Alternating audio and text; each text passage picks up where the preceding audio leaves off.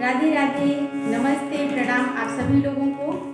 और मैं प्रतिमा पांडे, जो आप सभी लोगों को जो गाना सुनाने जा रही हूँ, बहुत सुंदर, हमसे कई बार फरमाइश भी हुई थी कि हम श्याम बाबा जी के गाने सुनाएँ आपको।